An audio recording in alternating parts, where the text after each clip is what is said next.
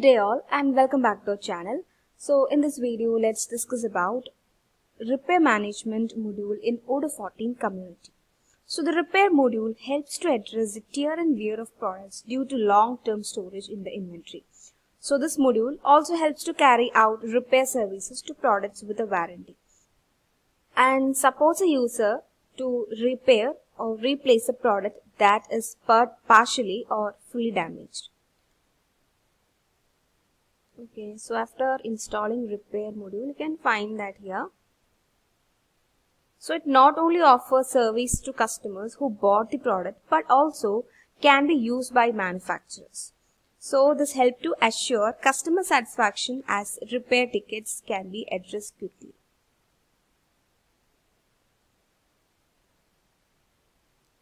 So it triggers a work of broken or damaged products and carries out the fixing and redesigning of the product. So for any user, this module turns beneficial as it helps to collect the information on damaged products and supports tracking of product at all stages of repair. So here we can see the repair orders, already created repair orders. Uh, so you can create new order, just click create button and here we can set the repair service.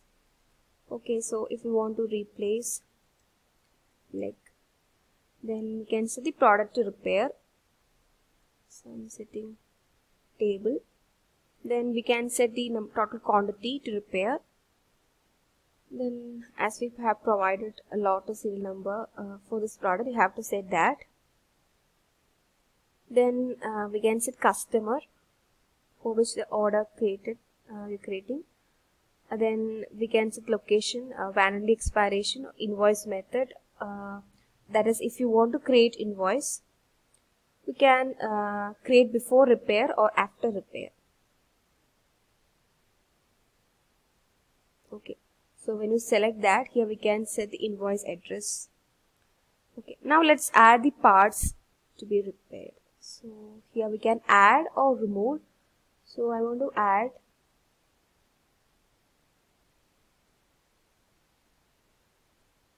table like and you can see source destination location.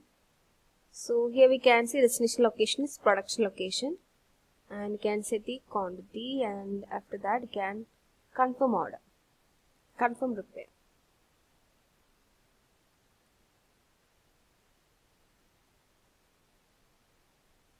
Okay so we have to set serial number for this table leg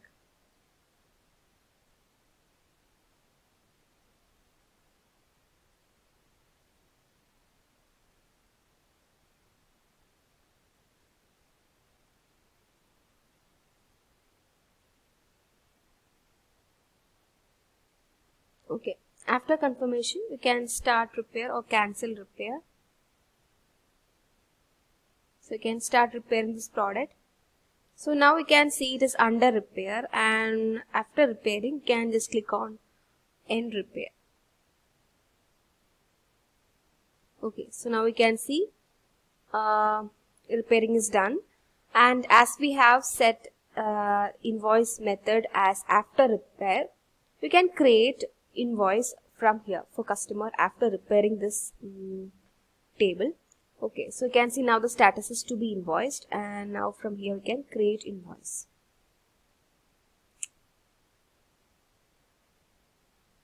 So you can see for this product uh, like that is table you can see one invoice is created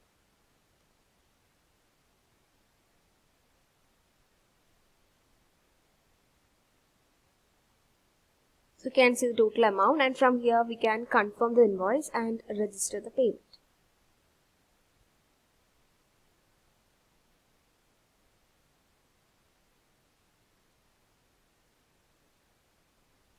So that's how we create repair order and repair products and create invoices for customers.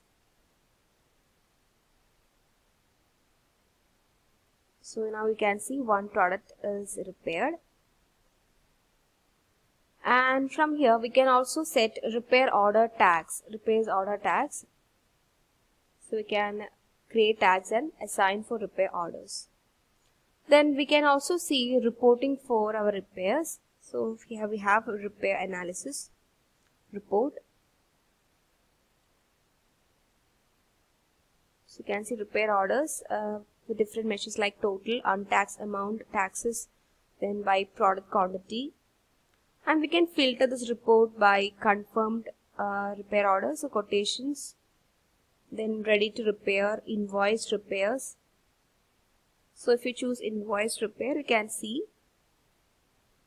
result. Then here we can group this uh, by customer status warranty expiration and uh, so this is a graph view and we can also find list view then Kanban view then pivot view to repair, repair orders. Okay so you can see we have one invoice repair order that is invoice for Azure Interior. You can see count one for product table. Okay so that's how we create repair orders and create invoices for customers in Odoo 14, repair management. Thank you.